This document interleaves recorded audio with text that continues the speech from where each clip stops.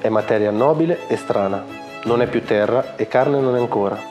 Così recita una frase dello scrittore Santucci e ogni volta che lavoro con il legno me ne rendo conto.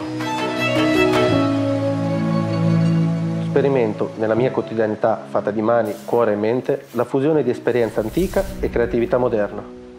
Mi chiamo Claudio Rinaldi, per tutti Rino. Vivo in un paese nel cuore dell'Italia, tra mare e collina, dove la cultura artigiana ha fatto storia. Ancona.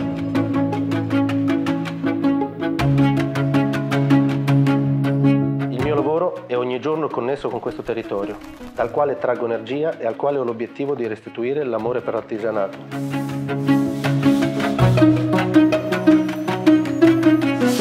Fin da piccolo la mia passione è stata il legno per un falegname l'emozione più grande si sprigiona proprio dall'osservazione della materia, mentre si trasforma in oggetto, sentirne il profumo, ammirarne la texture.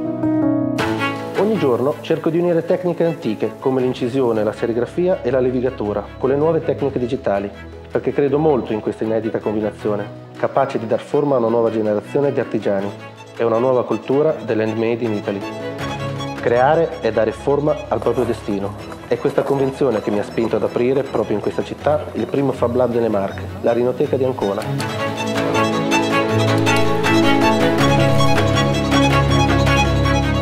Contatto con la materia, la sua percezione, i suoi odori e i suoi sapori sono la base per il percorso di un artigiano nel processo creativo. Sono elementi che nonostante il subentrare del digitale hanno ancora importanza per i giovani. Da sempre ho inseguito il sogno di conferire ad un prodotto artigianale la valenza di un'opera d'arte. Così è nata la rinosfera, una sperimentazione creatasi dall'incontro tra linee rette e linee curve.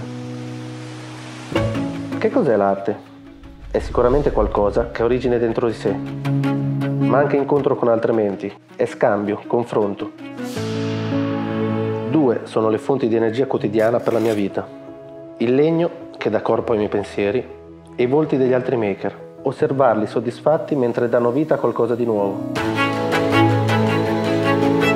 Sono sensazioni meravigliose di cui questo luogo è intriso. Vecchio e nuovo. Legno e bytes. Tradizione e tecnologia. Passione antica e determinazione quotidiana.